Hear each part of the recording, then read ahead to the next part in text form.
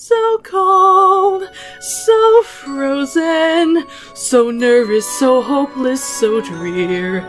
Is it the temperature that's got you down, friends? Or perhaps it is yours.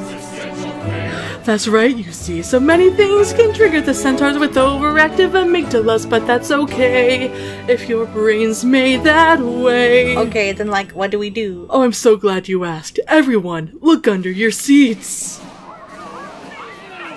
You can breathe in a bag, just breathe in a bag. You inhale, you exhale, my name is Glendale if you still feel sad. I feel kind of better. The world can be cruel and depraved, and we're struggling under its weight. Just remember you aren't alone when you think life's a drag. You can breathe in a bag. This has been helpful, but we're still going with the Nowhere King. You see, sometimes we hide from the scary things by trying to side with those very things. In this case, it would be the Nowhere King. He's a false savior. You might feel initial relief, but I promise you it will be brief because this is a case of. Oh, you guys got this. Now breathe in a bag. Just breathe in a bag. Things are scary and freezing, and that is the reason I gave you the swag.